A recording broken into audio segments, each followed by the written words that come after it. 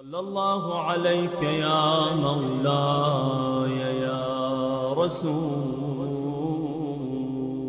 الله. صلى الله عليك يا باب الحوائج. يا مولاي يا موسى بن جعفر. يا ليتنا كنا معكم. فنفوز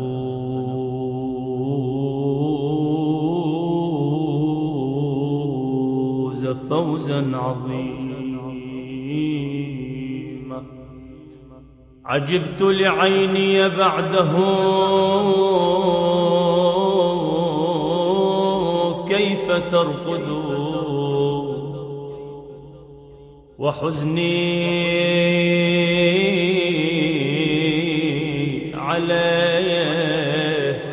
لا يتجدد يتجدد قضى الكاظم المظلوم بالسم غيلة ببغداد من ذا للهواشم يقصد قضى وحده في السجن ملتهب الحشا فلهفي عليه ذلك المتهيأ.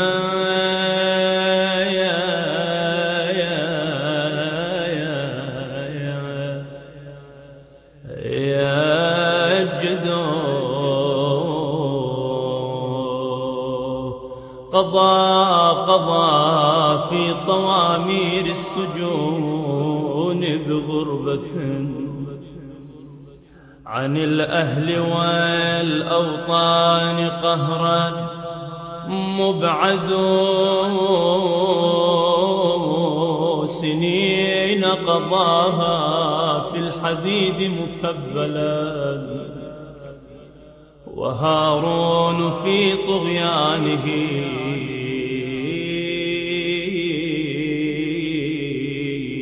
يتمرد وفي حبس السندي اللعين بن شاهد. فكان عليه كل يومين يشدد.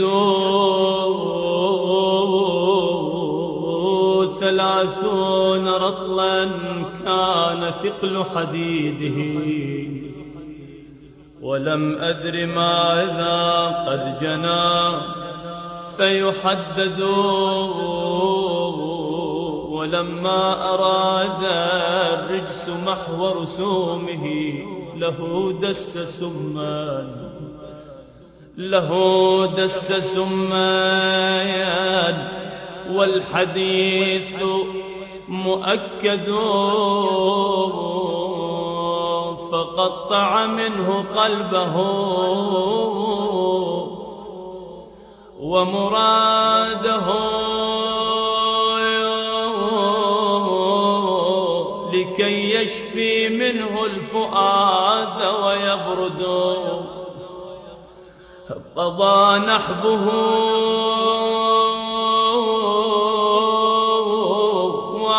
وفجعتاه لوحده. غريبا بقعر السجن وهو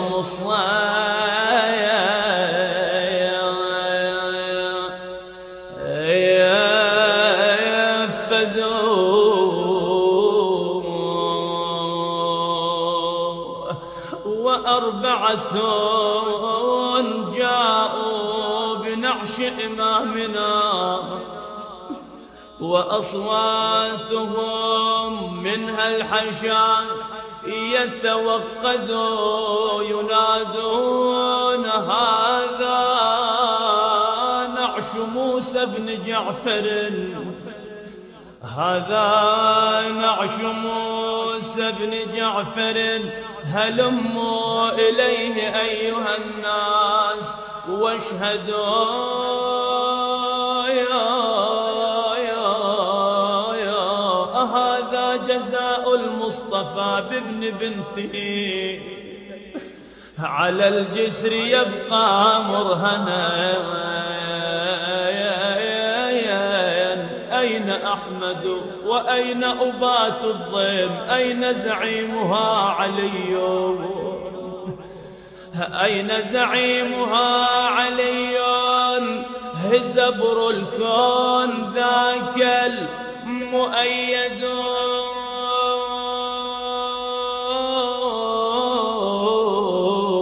أن يلقى على جسر الرصافة فخركم؟ ويهنى لكم وسط المجالس مقعد سمينا قضى باب الحوائج عزكم. السميما قضايا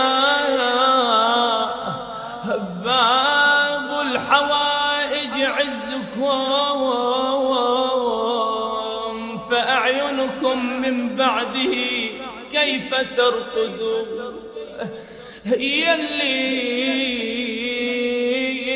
يلي قضيت العمر كله بضيم وسجون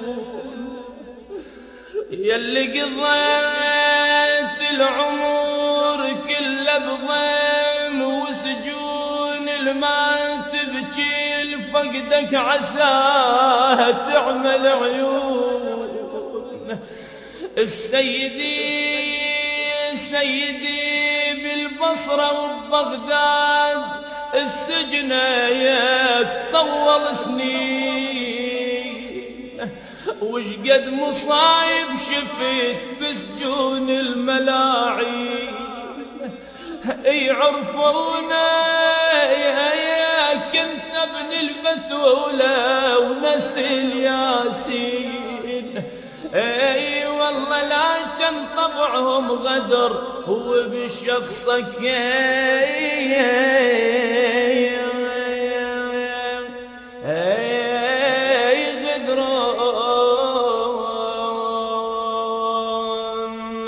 السيد وانت وانت يا أبو إبراهيم الظلم اللي جرى لك غير رسومك بالسجون وشده بالك وحدك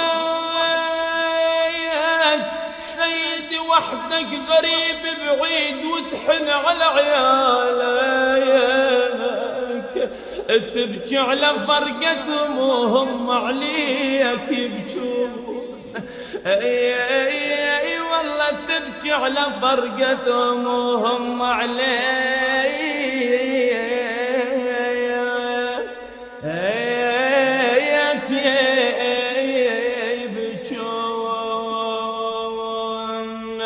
وش هالخبر هالصاير بين الناس شايع؟ قالوا جتل بالسيم قضي الحجة السابع. ويل اعلموا سبنا جعفر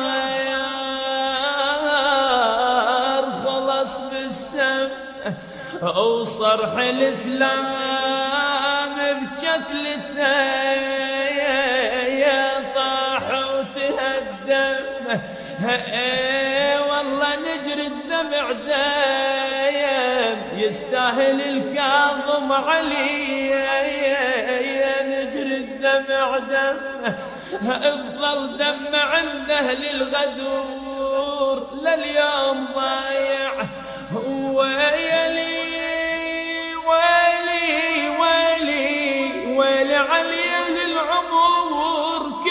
بحبس يقضي. وكل من كل من تولى الحكم للكاظم يأذي. وتالي تالي تالي الرشيد برطاب سم الموسى ينطي وبسجن بن شاهك يراوون الفضايع والله لكن لكن مثل ظلم الجرى الموسى بن جعفر ما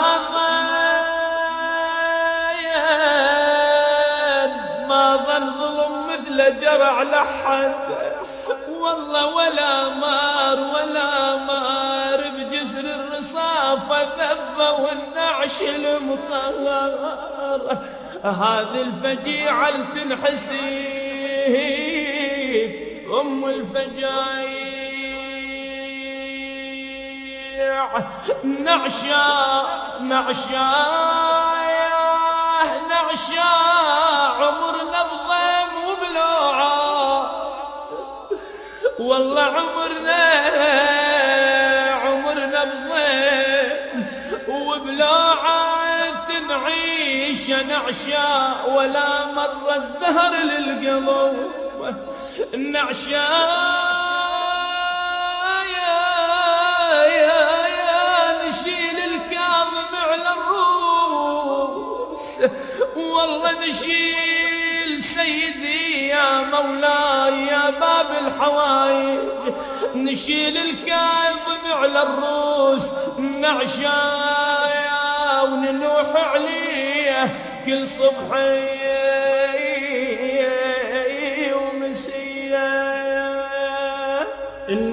لله وإنا إليه راجعون. وسيعلم الذين ظلموا آل محمد أي منقلب ينقلبون. منذ أن استشهد الإمام الصادق عليه السلام بدأ عهد الإمام الكاظم عليه السلام. وقد عاصر أربعا من الخلفاء العباسيين. وكان أولهم المنصور الدوانيقي وكان معروفا بظلمه وبطشه بالناس. وذلك لتوطيد سلطانه. ولم يكتف بإيذاء الشيعة فقط. بل راح يضطهد فقهاء أهل السنة وشخصياتهم البارزة حتى وصل به الحال إلى جلد أبا حنيفة.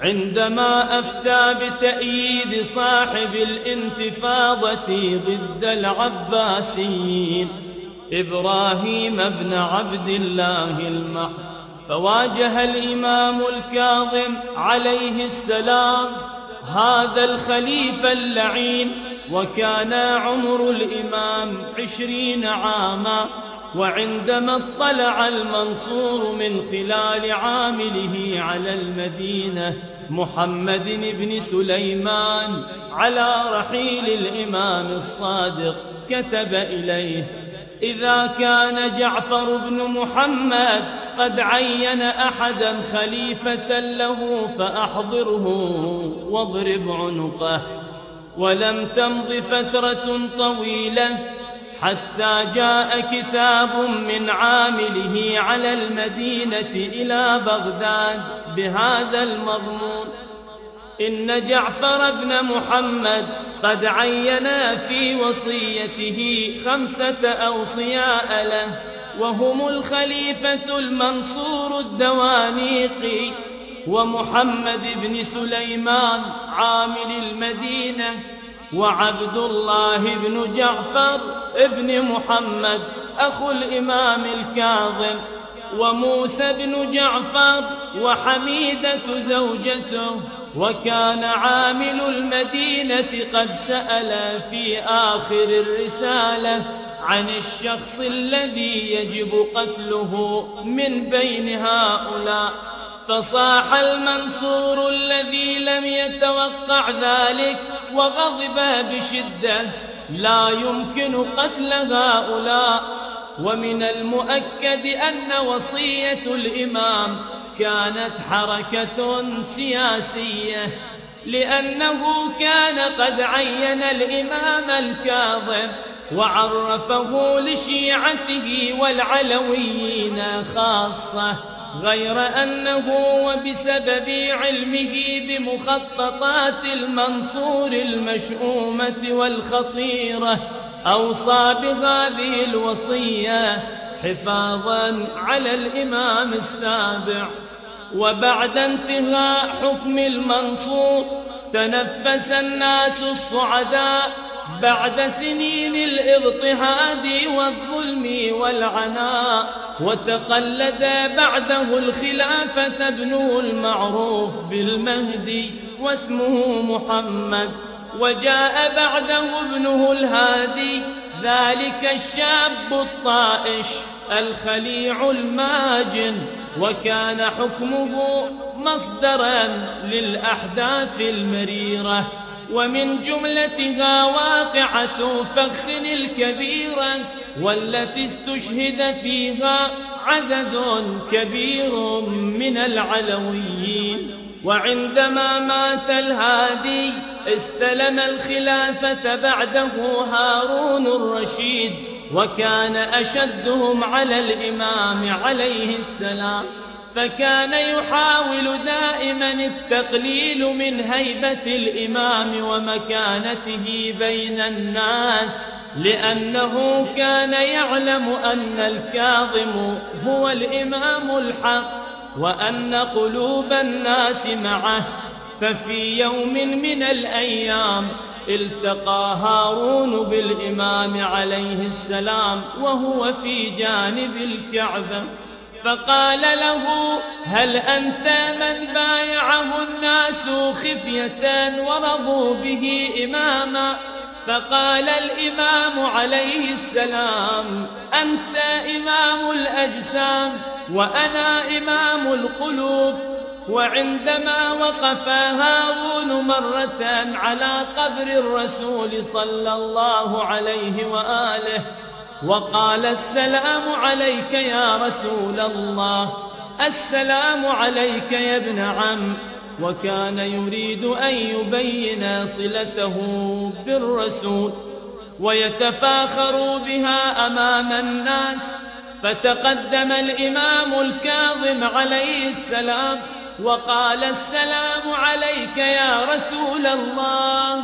السلام عليك يا أبا. فتغير وجه هارون وتبين الغيظ فيه. فقال هذا هو الفخر حقا. ولم يكتف هارون بذلك. فكان يريد أن ينكر انتساب الأئمة عليهم السلام إلى الرسول صلى الله عليه وآله وأنهم أبناؤه. فقد قال للإمام يوما لما يقولون لكم يا بني رسول الله ولما جوزتم للعامة والخاصة أن ينسبوكم إلى الرسول ويقولون لكم ذلك وأنتم بنو علي وإنما ينسب المرء إلى أبيه وفاطمة إنما هي وعاء والنبي صلى الله عليه وآله جدكم من قبل أمكم فقال الإمام عليه السلام لو أن النبي صلى الله عليه وآله نشر فخطب إليك كريمتك فهل تجيب فقال هارون سبحان الله ولما لا أجيب؟ بل أفتخر على العرب والعجم بذلك. فقال له الإمام لكنه صلى الله عليه وآله لا يخطب إلي ولا أزوجه فقال هارون ولم لا؟ فقال الإمام لأنه ولدني ولم يلد. فقال أحسنت يا موسى. وفي رواية أخرى أجابه الإمام بالآية التي تقول ووهبنا له إسحاق ويعقوب. كلا هدينا ونوحا هدينا من قبل ومن ذريته داود وسليمان وأيوب ويوسف يوسف وموسى وهارون وكذلك نجزي المحسنين. وزكريا ويحيى وعيسى وإلياس كل من الصالحين. فقال له الإمام فإنما ألحق عيسى بذرار الأنبياء من قبل مريم وألحقنا بذرار النبي من قبل أمنا فاطمة. فلم يجد هارون جوابا وهذه الأسباب وأسباب أخرى.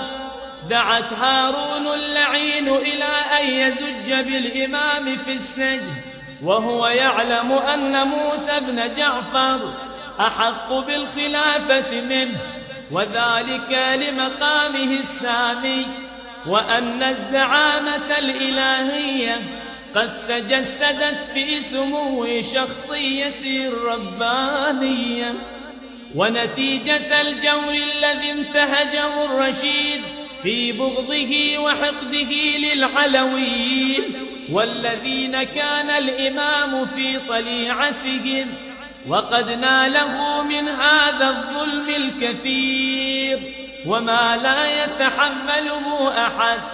وخير شاهد على ذلك الزيارة الواردة في حق الإمام موسى بن جعفر حيث تقول الزيارة اللهم صل على محمد وأهل بيته وصل على موسى بن جعفر وصي الأبرار وإمام الأخيار وعيبة الأنوار ووارث السكينة والوقار والحكم والآثار الذي كان يحيي الليل بالسهر إلى السحر بمواصلة الاستغفار حليف السجدة الطويلة والدموع الغزيرة والمناجاة الكثيرة والضراعات المتصلة ومقر النهى والعدل والخير والفضل والندى والبذل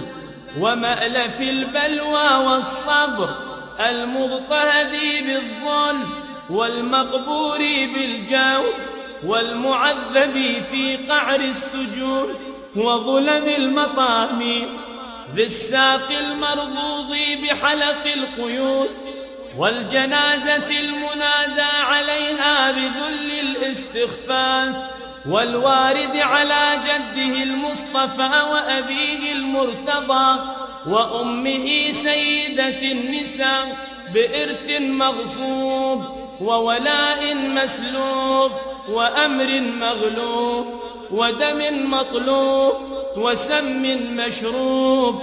اللهم وكما صبر على غليظ المحن وتجرع قصص الكرب واستسلم لرضاك وأخلص الطاعة لك ومحض الخشوع واستشعر الخضوع وعاد البدعة وأهلها ولم يلحقه في شيء من أوامرك ونواهيك لومة لائم صل عليه صلاة نامية منيفة زاكية توجب له بها شفاعة أمم من خلقك وقرون من براياك.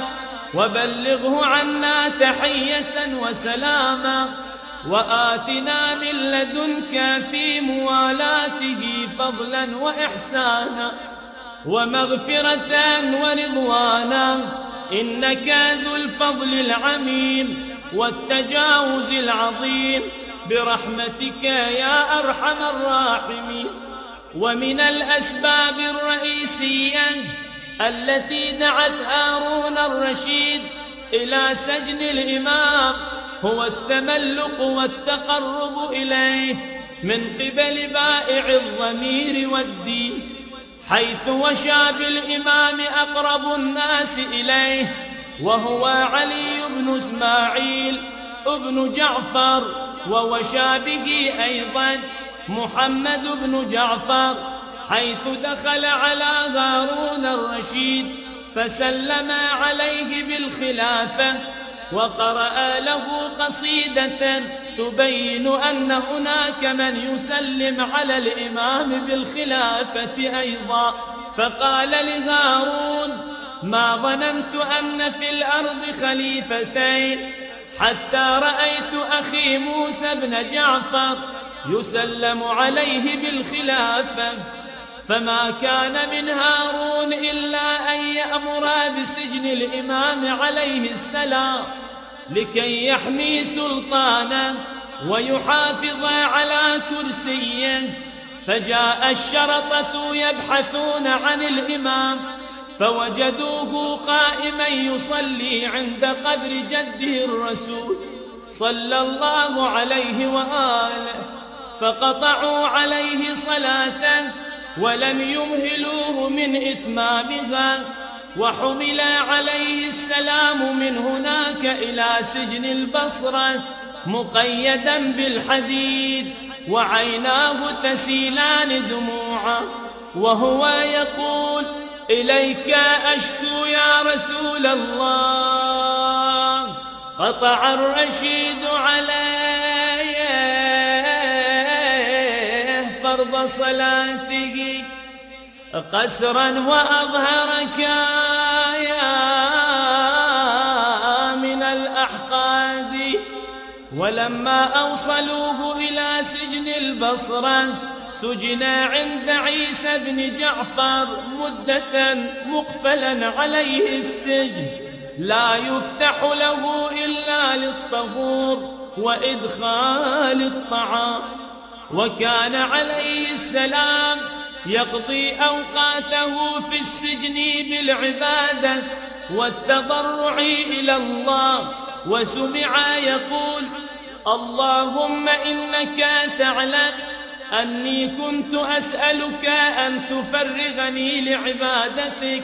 اللهم وقد فعلت فلك الحمد وبعد تلك المدة طلب عيسى بن جعفر من الرشيد نقل الإمام إليه وإلا أطلق سراحة لأنه ما رأى من الإمام إلا العبادة والبكاء من خشية الله والخير الكثير.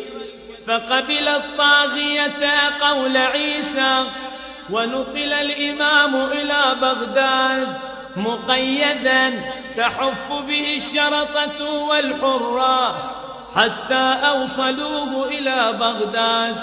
فأودع في سجن الفضل بن الربيع ولم يزل ينقل من سجن إلى سجن حتى وصل إلى سجن الفضل بن يحيى.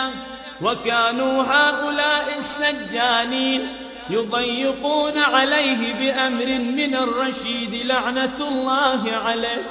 ولما كان الإمام في سجن الفضل بن الربيع كان الرشيد يراقب حال الإمام بنفسه فأطل يوما من أعلى القاصر على السجن فرأى ثوبا مطروحا على الأرض في مكان لم يتغير عن موضعه.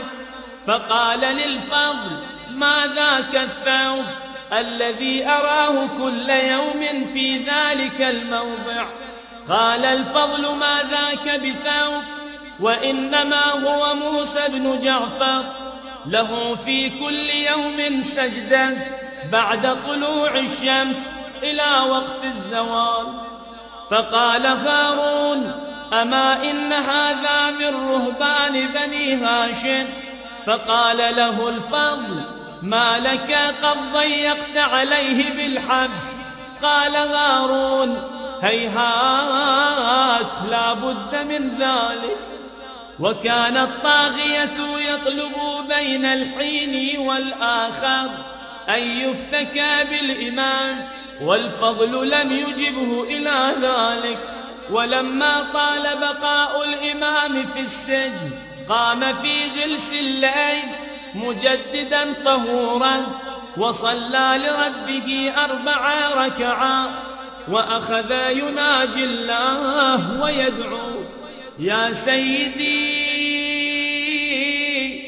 نجني من حبس هارون وخلصني من يده يا مخلص الشجر من بين رمل وطين ويا مخلص النار من بين الحديد والحجار ويا مخلص اللبن من بين فرث ودم ويا مخلص الولد من بين مشيمة ورحم ويا مخلص الروح من بين الأحشاء والأمعاء. خلصني من يد هارون وما أن أتم الإمام دعاء. حتى استجاب الله له ذلك فأمر الطاغية جلاوزة فأطلقوا سراح الإمام. وذلك لرؤيا رآها كأن حبشيا قد أتاه ومعه حربا. قائلا له إن لم تخل عن موسى بن جعفر الساعة نحرتك بهذه الحربة. ولكن إطلاق سراح الإمام كان إطلاقا مؤقتا. دام عدة أيام عاشها الإمام مكرها في بغداد. وكان الطاغية في تلك المدة يهدد الإمام بالقتل. وبعد ذلك أرجعه إلى سجن الفضل بن يحيى وأمره بالتضييق عليه. لكن الفضل فعل عكس ذلك ولم يضيق على الإمام. ولما علم الطاغية بذلك أمر بنقل الإمام إلى سجن السندي بن شاهك. وكان السندي عدوا لآل محمد. ناصبيا قاسي القلب فأمره بالتضييق على الإمام وتقييده بثلاثين رطلا من الحديد وأن يقفل عليه الأبواب ولا يدعه يخرج فامتثل السندي لأمر الطاغية هارون فوضعه في طامورة لا يعرف فيها الليل من النهار وأوثقه بالحديد حتى أثر الحديد في جسده الشريف. وكتب الإمام من تلك الطامورة إلى علي بن سويد وكان ابن سويد قد سأل الإمام مسائل كثيرا فكتب إليه الإمام بعدما أجابه عن مسائله. إني أنعى إليك نفسي في ليالي هذا. غير جازع ولا نادم ولا شاك فيما هو كائن من قضاء الله عز وجل وحتم. فاستمسك بعروة الدين آل محمد إلى آخر ما قال سلام الله عليه. فما مضت تلك الأيام حتى بعث الطاغية هارون إلى السندي رطبا مسموما وأمره أن يقدمه إلى الإمام موسى بن جعفر عليه السلام. فامتثل أمر طاغية وقدم الرطب إلى الإمام وأجبره على أكله فرفع باب الحوائج يده إلى السماء. وقال يا رب إنك تعلم أني لو أكلت قبل اليوم كنت قد أعنت على نفسي. ثم تناول سبع رطبات فأكلها وقيل عشرا. ثم امتنع فقال له السندي زد على ذلك. فرمقه الإمام بطرفه. وقال حسبك قد بلغت ما تحتاج إليه بعد ذلك أخذ السم يسري في بدنه وهو يعاني أشد الآلام في تلك الطامورة. وأحاط به الأسى والحزن حيث لا أحد من أهله وأحبته عنده. وبقي الإمام على هذه الحال ثلاثة أيام وبينما هو يسمع أخشن الكلام وأغلظه من السندي بن شاهك وهو في تلك الحالة إذ أدخل عليه السندي ثمانين رجلا من وجوه بغداد وأعيانها وقال لهم انظروا إلى هذا الرجل هل حدث فيه حدث؟ فقال الإمام عليه السلام اشهدوا أني صحيح في الظاهر ولكني مسموم وسأحمر حمرة شديدة وأبيض بعد غد وأمضي إلى رحمة الله ورضوانه. عندئذ أوصى وصيته الأخيرة وأشهد جميع الذين حضروا قيل أن الإمام اتصل بعلي بن سويد سرا وهو في السجن بعد أن أعطى السجانين بعض المال فسأله قائلا سيدي متى الفرج؟ فوالله لقد ضاقت صدورنا. قال له الإمام الفرج قريب يا ابن سويد. قال متى سيدي؟ قال عليه السلام يوم الجمعة ضحى على الجسر ببغداد. يقول ابن سويد خرجت ورجلاي لا تكاد تحملاني من الفرح ووصلت إلى دور أصحابنا. طرقتها بابا بابا وأقول لهم البشرى. الإمام يخرج ضحى الجمعة على الجسر ببغداد. فبينما نحن سماطين ننتظر خروج الإمام وطلعته البهية. وإذا بجنازة مطروحة والمنادي ينادي هذا إمام الرافضة قد مات حتفا أنفا فانظروا إليه فجعل الناس يتفرسون في وجهه. يقول علي بن سويد جئت لأنظر إليه. وإذا هو سيدي ومولاي يا موسى بن جعفر وإماما وسيدا وكاظما. جاي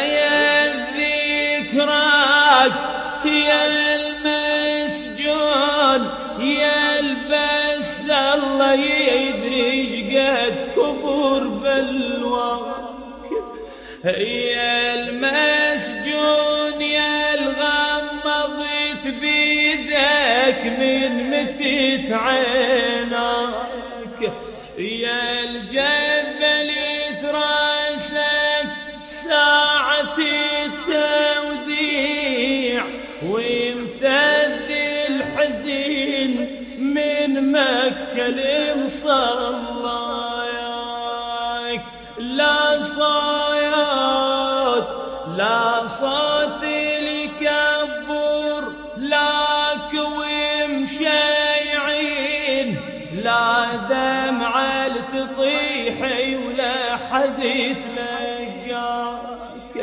وحدك شيعت روحك وجيت بلي شايل نعشك وما حد يشيلي وياك. فأخذ أنصاره وشيعته ومحبيه. ومواليه ينوحون ويبكون وبينما هم كذلك وإذا بطبيب نصراني يمر بجانبهم وكان بينه وبين ابن سويد صحبة فقال له أقسم عليك بالمسيح إلا ما رأيت سبب موت هذا المسجى قال اكشف لي عن باطن كفه كشف له عن باطن كفه فأخذ ينظر فيها ويهز برأسه. قال ابن سويد أخبرني ما رأيت. قال الطبيب يا ابن سويد هل لهذا الرجل من عشيرة؟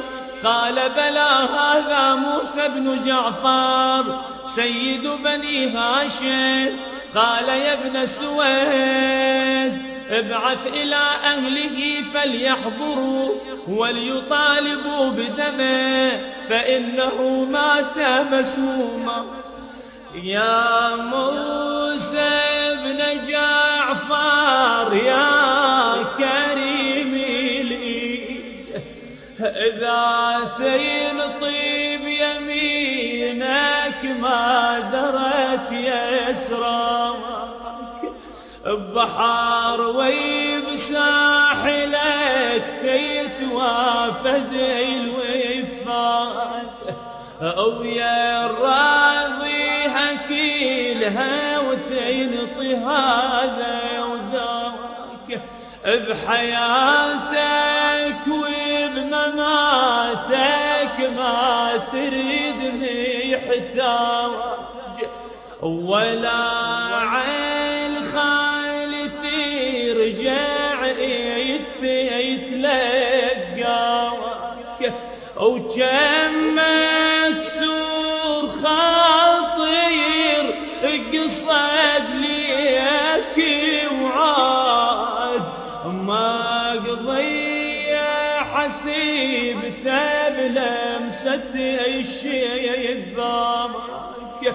ويا البيعة الحياة برخص للمعبود.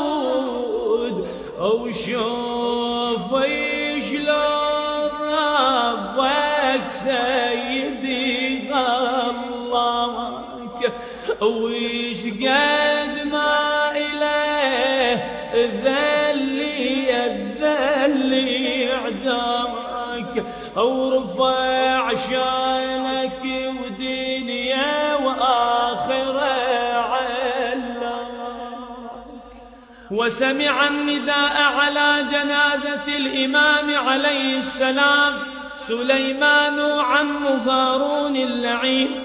فقال ما الخبر؟ قيل له إن على الجسر جنازة أحد الناس مات في سجن الخليفة. فقال ويحك ما أكثر الذين يموتون في السجن. ولكني أرى بغداد تموج بأهلها ويحكم انظروا لمن هذه الجنازة. فذهبوا مسرعين ورجعوا وهم يقولون يا أمير إنها جنازة رجل حجازي. فقال انظروا من أين؟ قالوا هو من بني هاشم. فقال ويحكم أنا من بني هاشم. من تكون هذه الجنازة؟ قالوا هي جنازة موسى بن جعفر فصاح بولده وغلمانه. انزلوا وخذوه من أيديهم فإن منعوكم فاضربوهم وخرقوا ما عليهم من سواد. فنزلوا إليهم وأخذوه من أيديهم فأمرهم سليمان أن يضعوه على مفرق أربعة طرق. وراح المنادون ينادون ألا من أراد أن يحضر جنازة الطيب بن الطيب؟ موسى بن جعفر فليخرج. ثم جهز الإمام وكان الذي جهزه ولده علي بن موسى الرضا. كما يقول المسيب فوالله لقد رأيتهم وهم يظنون بأنهم يغسلونه ولا تصل أيديهم إليه ويظنون أنهم يحنطونه ويكفنونه وأراهم لا يصنعون به شيئا ورأيت ذلك الشخص ويقصد الرضا عليه السلام يتولى غسله وتحنيطه وتكفينه وهو يظهر المعاونة لهم وهم لا يعرفونه. فلما فرغ من تجهيزه قال ذلك الشخص يا مسيب مهما شككت فيه فلا تشك في فإني إمامك ومولاك. وحجة الله تعالى عليك بعد أبي. يا مسيب مثلي مثل يوسف الصديق ومثلهم مثل أخوته حيث دخلوا فعرفهم وهم له منكرون. ثم حملا حتى دفنا في مقابر قريش وأمر برفع قبره أكثر مما أمر به عليه السلام. ثم رفعوا بعد ذلك قبره وبنوا عليه عشقد ما تتجيال وإجت غير أجيال وين ديثرة قبوري وين تقبرك ذاك؟ شاخيص كان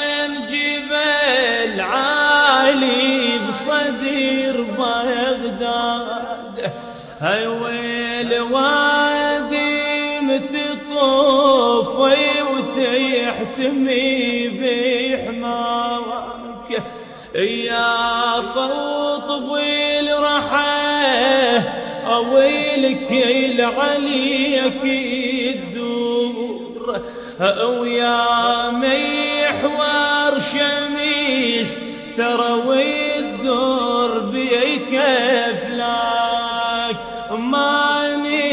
ننساك وغشيم اللي يعتقدني انساك إذا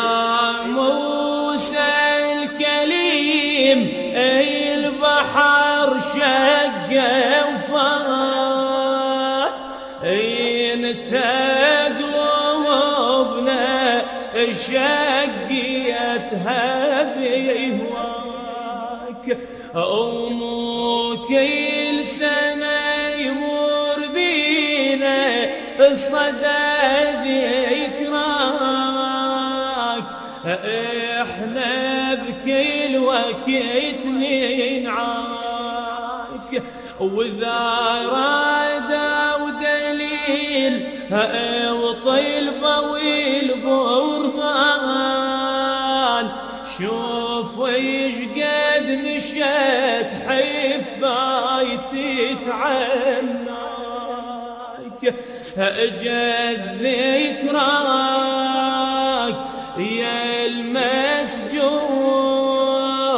يا البس الله يدري قد كبر بلواك سبع الضغط ضجت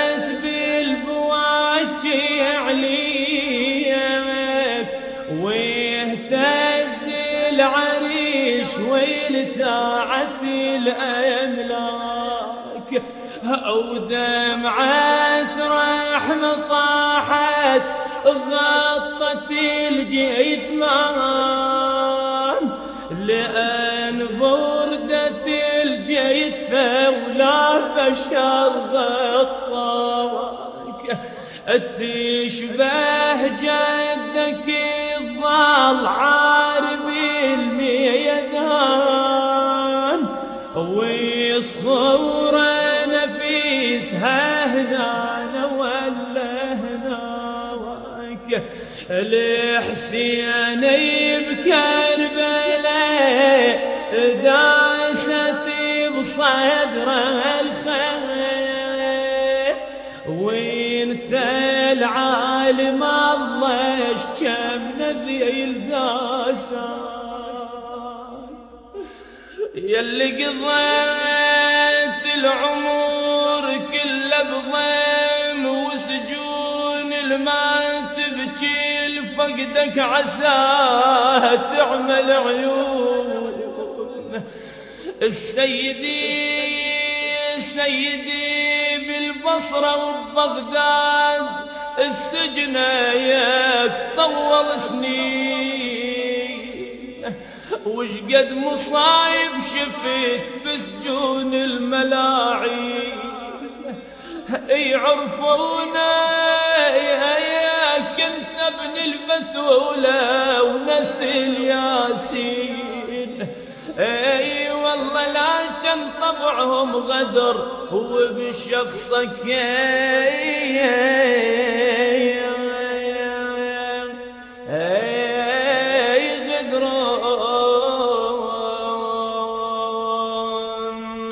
السيد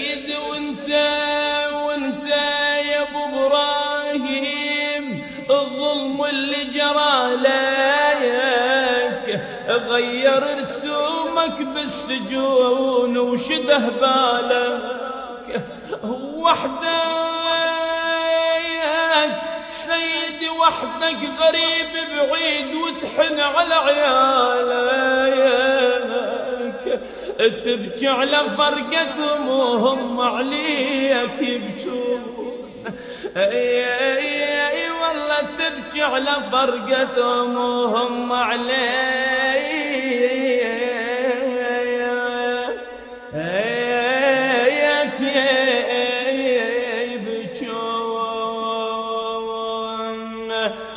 هالخبر هالصاير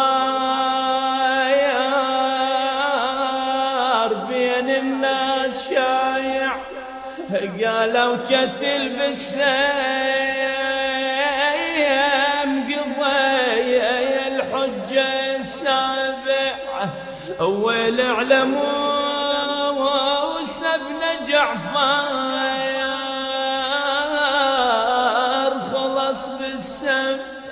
وصرح الاسلام بشكلته طاح وتهدم. والله نجري الدمع دايم يستاهل الكاظم علي نجري الدمع دم الظل دم عنده للغدور لليوم ضايع ويلي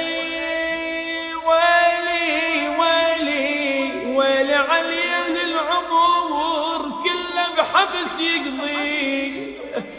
وكل من كل من تولى الحكم للكاظم يأذي. وتالي تالي تالي الرشيد برطام سم الموسى ينطي وبسجن بن شاهك يراوون الفضايع. والله لكن لكن مثل ظلم الجرى الموسى بن جعفر ما ضايع ما ظن ظلم مثل جرى على حد. والله ولا مار ولا مار بجسر الرصافة ذبه والنعش المطهر. هذه الفجيعة تنحسيب أم الفجايع نعشا نعشا نعشا عمرنا بضيم وبلوعة والله عمرنا عمرنا بضيم وبلوعة نعيش نعشا ولا مر الدهر للقلب. نعشا يا يا يا نشيل الكاظم على الروس. والله نشيل سيدي يا مولاي يا باب الحوايج نشيل الكاظم على الروس. نعشا وننوح عليه كل صبح ومسيا. إنا لله وإنا إليه راجعون. وسيعلم الذين ظلموا آل محمد أي منقلب ينقلبون.